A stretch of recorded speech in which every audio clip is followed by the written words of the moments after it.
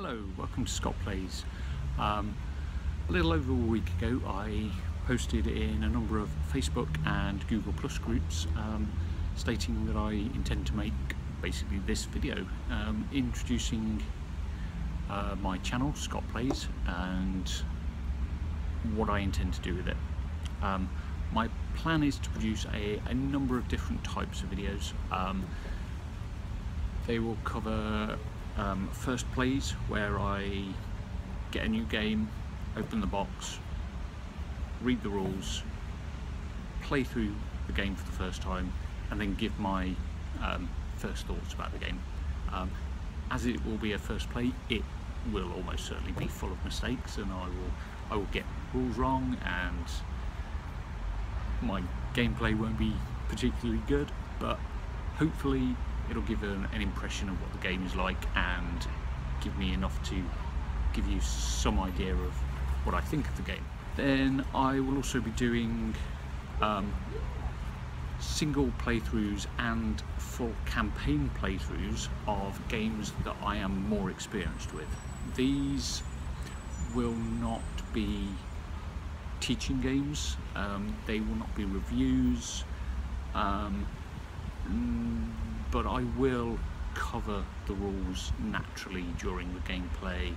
I will talk about what I think about the game, but my primary aim is to show you how the game plays and my experience of playing it. And then lastly, and probably fairly infrequently, I will do the occasional video like this where I'm talking to camera about some topic. Um, it will always be board game related. Um, it might be industry news, it might be the latest hype or some controversy on Facebook groups like that ever happens. anyway, that's the basic idea of what I want to do with the channel. Um, now, when I posted in the, the groups, I, I asked for your questions, so I think I will just pull those up and I think the best thing is for me to answer some of those now. First question I got was from Jeremy Santiago and before I go any further, apologies if I butcher any names here, although actually most of them are fairly straightforward. Um, Jeremy asks, uh, what are your favourite types of games? Euros, thematic, card-based, one hour less playtime or one more than one hour? What kinds of games will you focus on? Uh, new releases or old games, both? Uh, how long have you been playing hobby games and specifically solo games? Okay, so maybe I'll start with those last two questions first. Um, I have been a board gamer for as long as I can remember really. I grew up in a household where we had all the classics, the Monopoly, uh, Cluedo or Clue if you're American. Um, but we also had a few slightly more unusual games. Um, the ones that particularly come to mind are um, Escape from Colditz um, and game I can't remember the name of which um, it was a form of battleships um, but you were a submarine commander and the board was this um, really nice setup like battleships where you had the screen in the middle and the two trays, but at the bottom of the central screen there was a uh, periscope type setup. So you could and all of the um, ships rather than being on the, the plane at the bottom were on the vertical thing. So in order rather than guessing where your opponent's ships were you used the periscope to look at where they were and you could figure out how far up the board they were or how far away they were and you would then have um, a, I think there was a torpedo and a depth charge tool that had little pokey out bits that you poked into the the board, which would knock the ships out. It was really cool. Um, but uh, Escape from Colditz, I think, is kind of the game that made me the board gamer I am today. Um, it's a very and, there's um, for anybody that isn't aware, there is a updated version of the game available, um, and although even with that updated version, it's it is a bit dated. I mean, it, it dates back to the 70s. Um, in fact, the copy that I still have is as old as I am. But it was the first game I played that had uh, a number of more interesting game mechanics in it. Um, and yeah, that kind of stuck with me. Um, played a bit of Magic, uh, board games like um, Robo Rally, um, and then uh, probably about four, five years ago, I picked up a copy of quite a controversial game um, at the time, um, and I, I, guess still quite controversial. Um, uh, called um, The War on Terror, the board game. Um, anyway, that game got me back into modern board gaming after a break of I don't know how many years, quite a few. Um, and since then, I've, I've, bought quite a few. My collection is probably about a hundred or so games. Um, I do favour solo games, um, mainly because they or games that can be played solo. So a lot of co-op games, um, some competitive games can be played solo uh, as well, um, and of course there are games that are designed purely for solo. Um, the reason for this is it allows me to play games whenever I want. I don't have to have opponents to play against. Um, I don't just play solo games though, so I, I do like competitive games as well. Um, trying to think of some examples. Um, uh, Castles of Burgundy is a good example of a non-solo, non-cooperative game that I particularly like. I think it's a really nice design. Um, but the majority of my collection is uh, solo playable. So what else did Jeremy ask? Uh, what are your favourite types of games? Okay, so as I said, cooperative games, particularly games that can be played solo.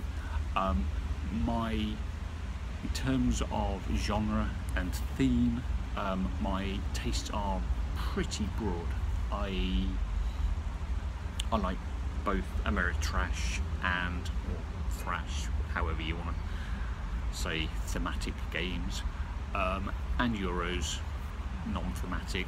Um, uh, abstract strategy games I like as well. Um, for example, my favourite two-player game at the moment is Onitama. I think the, the design of that is just really nice, very elegant, very streamlined, um, but there's quite a bit of depth and uh, both strategy and tactics in there. Um, let me think what else. Uh, I've already mentioned Castles of Burgundy. My favourite cooperative solo playable game at the moment is, uh, well, actually no, there's a couple. Um, First Martians, I pre-ordered that, love that game. I personally don't have any issue with the rules. I know a lot of people do. Probably best I say no more than that really. I love the game, it's really good. Um, I, had played Robinson Crusoe before, so that probably helped with understanding the rules. Um, and apologies for the background noise. Um, yeah, really great game. Um, another game I'm really into at the moment is Arkham Horror, the card game. Um, yeah, the I tend not to buy too many of those types of games because of the expense. Um, Arkham Horror is my one LCG at the moment. Um, I also quite like uh, Ashes Rise of the Phoenix Born, I think it's called. Um, really nice system. Um, that's sort of the my one other game that is sort of close to the LCG model. Um, what kind of games will you focus on? Okay, the my videos will be. Alright, I don't want to say all because it might change in the future, but my plan at the moment is to focus purely on solo playable games.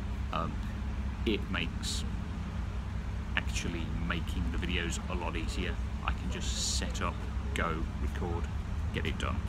Uh, oh, new releases or older games? A bit of both. As I said earlier, um, I will be doing first play videos, which obviously will be tend to be newer games. Um, I I'm not a not fully into the cult of the new. Um, I'm still um, finding older games that are really good, and so when that happens, I will do first plays of those. Um, so yeah, there will be a mix. Single play and campaign play videos will probably tend to be slightly older to older games um, rather than new games, simply because when I do those, I want to have a really good understanding of the game so that I'm not making lots of mistakes. Um, the um, yeah, also one of the reasons I want to do, or I intend to focus on solo playable games is I don't want to have that situation of I'm running two different players and you know I have a virtual second player or opponent or which just gets messy and makes it really I, it it means you you inevitably make mistakes. Um, so uh, yeah, I'm not not going to be doing any of that. Um, so yeah, I think that now covers all of Jeremy's questions. Um, thank you, Jeremy, for those. Uh, okay, um, good friend of mine, um, AJ Vanovic, um, asks why Canada. Um, I'm currently on holiday in Canada in, I can't remember if I mentioned this earlier in the video, uh, in Toronto, sitting outside Markham Civic Centre. Uh, I don't know why Canada, I guess because I haven't been here before. Hmm. Yeah. okay, so back to some more game related questions. Um, Simon Roadhouse asks, what is my favourite game, my favourite genre, favourite mechanic. Okay, favourite game. I tend, okay, for all of these, I tend not to have favourites. Um, if I'm pushed, I will usually say my favourite game is the last one I played or the last one I bought. Um, so at the moment it is First Martians, it is Arkham Horror, uh, the card game. Um, I guess the one game that is I've had for a bit longer that I does stand out as one that I particularly like and I particularly come back to um, is Castles of Burgundy. Um, and I hope you can see from that that I don't really have a favourite genre or a favourite mechanic. I like pretty much, well, I was going to say I like pretty much all games. That's not quite accurate. There are obviously games I just don't like. Um, but Um, I, I like a lot of games. I, I am a, what you might call an omni gamer. Okay, Timothy, Timothy Gay uh, asks, I'd like to know which Blood Rage monster is your favourite. Well, Timothy, I've never played Blood Rage. Um, I'm going to say the dragon. no idea whether there's a dragon in there or not. Chris Strain asks, um, are you doing reviews? Uh, are you interviewing people in the industry, giving news Kickstarter focused, Kickstarter excluded? Are you going to use your game collection as a backdrop like almost everyone else? Uh, I'll answer that last one first. Um, no, generally I won't be doing that. Um, when I do uh, videos like this where I'm talking to the camera, I will generally find somewhere nice outdoors, a bit more interesting. You know, it does have the problem of having people wandering by and background noise, but you know that's part of part of the the art. so what else did you ask? Okay, Kickstarter. Okay, I do Kickstart games. Um, I'm very choosy about what games I kickstart. Um, one I'm waiting on at the moment and is probably going to be my first first play video um, is Clans of Caledonia. That looks like a really nice game. Um, so yes, I will be covering Kickstarter games. I may do uh, videos like this where I talk about some Kickstarter games if they are uh, particularly interesting. Um, but it, it's not going to be the bulk of my content. Um, similarly, interviews, reviews, uh, I don't plan to do that a lot. Um, news, I may cover news occasionally, it depends. I, it's, it's not something I want to focus on, but if there are interesting topics that I have, or I think I have something interesting to say on, I will cover them. Joseph Clark asks, favourite gun, favourite game under £10, £15 or £20? Uh, favourite game that nobody or hardly anyone knows about? Okay, again I'll answer that last one first. Shadow Rift.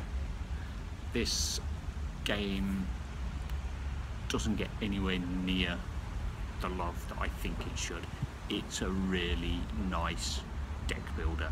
It is a pure deck builder, um, but you are playing heroes protecting a village.